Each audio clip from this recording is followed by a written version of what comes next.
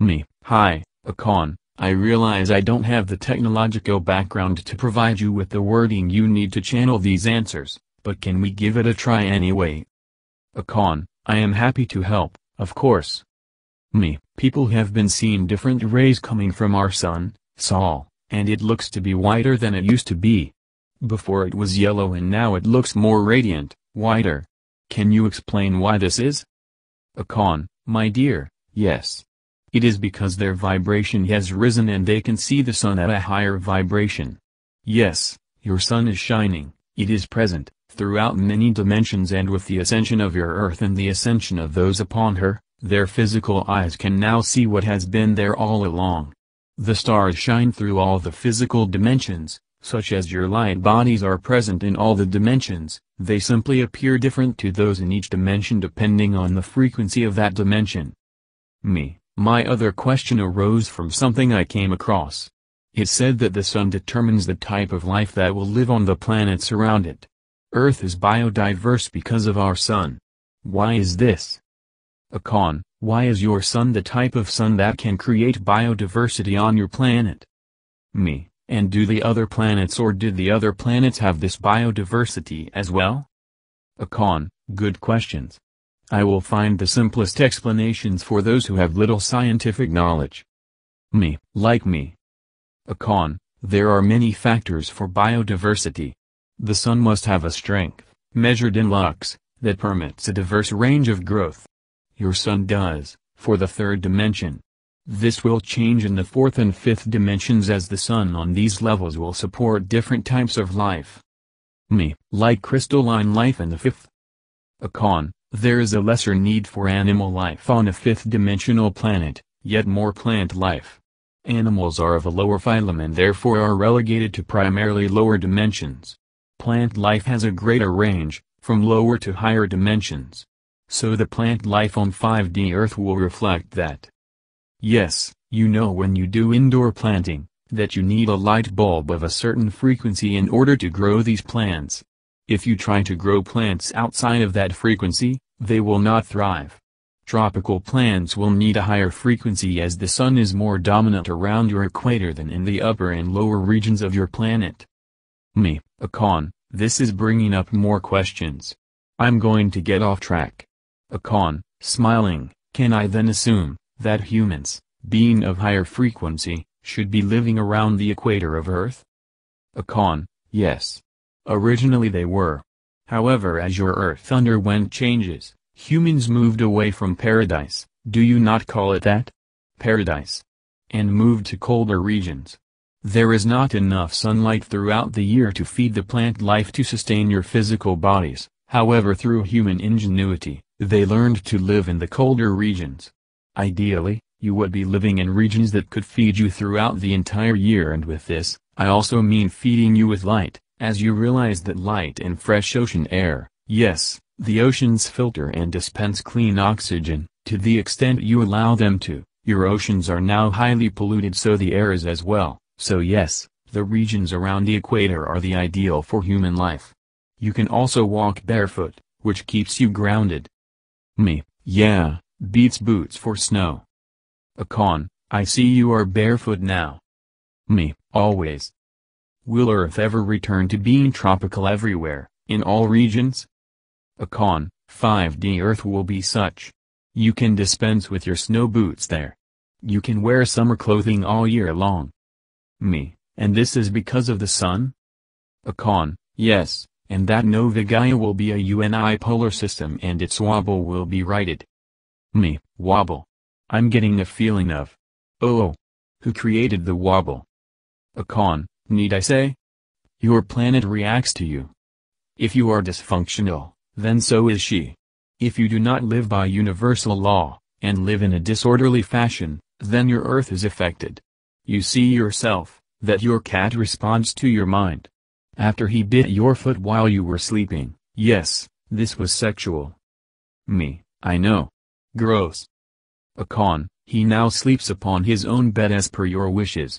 You have your space back and need not worry about having your feet bitten while you are asleep.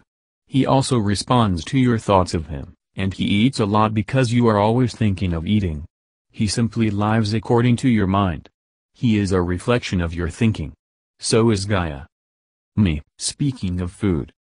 Akon, you do not eat when you realize you are hungry.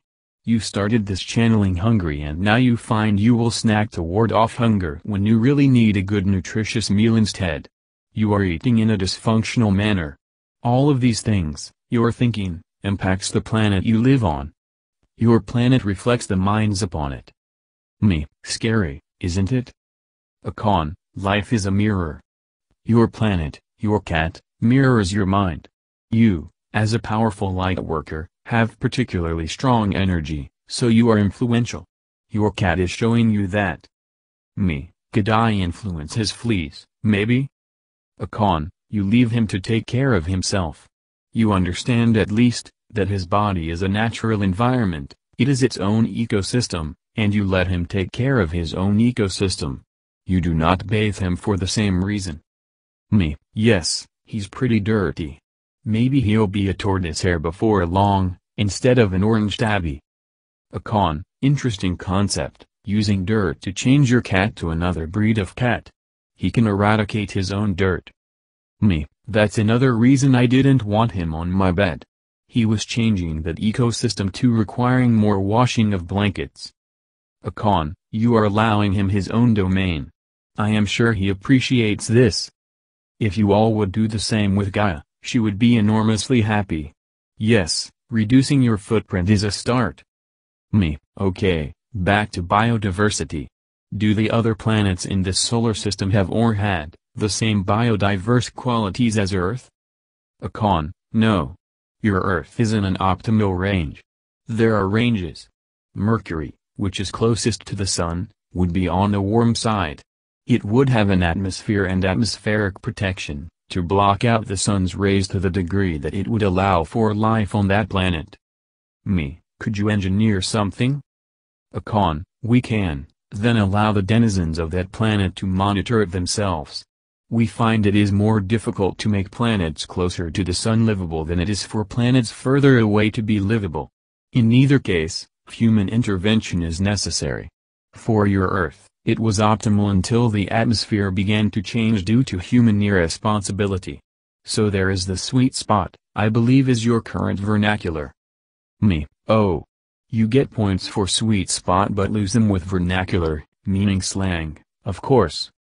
Akon, I see. That will be duly noted. He doesn't care, actually. He thinks it's funny. Me, but in any case, you could take virtually any planet and make it livable. Akon, there are many. The other question is, livable for whom? Me, oh yeah. So are you telling me, through what I see in my mind, that some planets are only going to be suitable for low vibrationals, and that's it? Akon, with less sunlight there will be fewer plants, with fewer plants, there are fewer higher dimensional beings, so yes. Me, so if I go out to Pluto, I might see some really ghoulish beings, Akon, you need only look on your own planet, you need not go so far, my dear. It is part of Earth's biodiversity. Me. So is Mercury inhabited at our vibrational level? Akon, yes. Me, who lives there? Akon, humans and other gaseous-type beings. Me, cool. So is it tropical and what's the water like? Akon, there is not as much water, it is primarily a landlocked type of world. There is much human climate control and intervention. Me, at lower 4D? Akon, yes. Me, so we can go there? Akon, do you wish to get so close to the sun? Me, you do. Akon, we have the technology to keep ourselves safe from its negative impact. You do not. You still believe the sun will kill you. We know it is a stargate. Me. Akon, your Ivo uses it as well when he goes back to Eltarin. Me, he's taken me with him then in the astral because I know I've gone. Akon, yes. You have been to see us as well, on Meton. Me, so there are humans on Mercury? Akon, yes. Not as populated as Earth but then it is not going through an ascension process. Me, I'd heard the whole solar system is ascending. Akon, at their own levels. There are still fourth-dimensional Mercurians, and the higher-dimensional Mercurians are prompting them to evolve. Does this sound familiar? Me, yes. Akon, this is what the Lightworkers will be doing on Earth. You have intervened in the natural process of ascension, where higher dimensionals help the lower dimensionals of their planet, because there are no higher dimensionals on planet Earth, so you are beginning the process for all who follow you. Me, so what about Mars? Akon, Mars does have life upon it. It also has life from your planet upon it. Unbeknownst to many, yes, your nefarious military-industrial complex has put life on many planets in your solar system at third and fourth dimensional levels. They could not upon the fifth dimension because these planets were already occupied, such as Venus is occupied by the Venusians in 5 and 6D. This is where Ashtar lives, 5D Venus. Yes, he calls that his home for now, for his physicality. Me, so did Mars have the same biodiversity as Earth? It's pretty close by. Akon, not as diverse but you know that ferns come from Mars so there was some trading between your planets when Mars had a human colony upon it, before its atmosphere was destroyed. Me, and now there's an atmosphere on Mars again? Akon, somewhat. Again, generated by technology. Not as rich in oxygen as your planet. Earth is ideal for lower dimensional human life. Arguably, when you create artificial environments, you can live practically on any planet you wish, however sometimes when planets are forming you have major disturbances in weather, etc.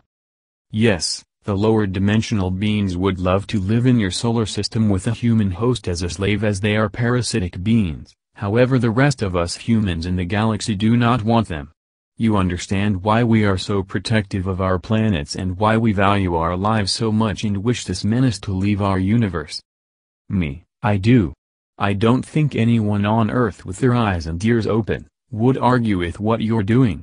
All have the right to life, even evil beings, but find a place to live amongst your own. They're invading this galaxy. Akon, they invade because they are parasites. That is their nature, which is contrary to that of the human being, we are not parasitic beings and will not be host to them any longer. They, on the other hand, cannot live without us. Yes, and creating havoc, disturbing the balance and in the same vein, destroying the sanctity of life, hindering the ascension process. Me, not helping the ascension process? Akon, as Ashtar had said, the amount of negativity they create does not help any process, they only create death from it as that is their intention. Me, as energetic parasites, why destroy the hosts that you are dependent on? Akon, they think nothing of destroying your planet either.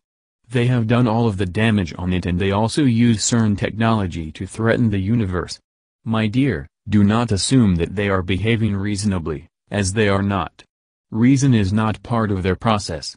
They do not use reason, it would be reasonable to understand that they cannot kill off the host they depend on and continue to live. They have your people thinking the same way as you continue to destroy the world you live on. This is not reasonable and neither is this pestilence. Reason is beyond them. They do not understand that without a host, they will die. Perhaps they are so arrogant they believe they will simply find new hosts. They will not. We will not allow it. Their vibration is one of not revering life and with this comes the attitude that they care not if they destroy the host or the planet that their hosts live upon. Hence you have the dilemma of 4D Earth, circa 2018. Me, wow. Thank you for that conversation, Akon. I learned a lot. Even without Science 101. Akon, you are most welcome. I understand you are busy with Ascension but perhaps we will speak more frequently. Me, I'll try, that's all I can promise. Akon, again, I bid you adieu. Me, 20.